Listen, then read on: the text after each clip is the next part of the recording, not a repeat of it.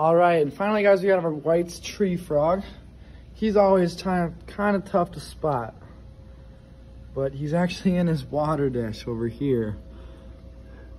And they do sort of change colors depending on their environment. So he's in his black bowl, so he's kind of gray right now. You can see that, but he's chilling in his water.